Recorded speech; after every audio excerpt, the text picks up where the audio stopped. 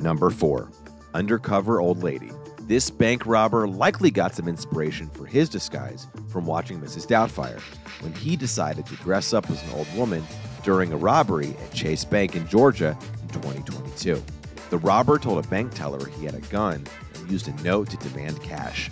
The suspect was wearing a floral dress, white sneakers, orange latex gloves, a white wig, and a dark face mask known as a neck gaiter. Authorities released the images to local media to ask the public for help identifying the suspect, but so far, no suspects have been identified.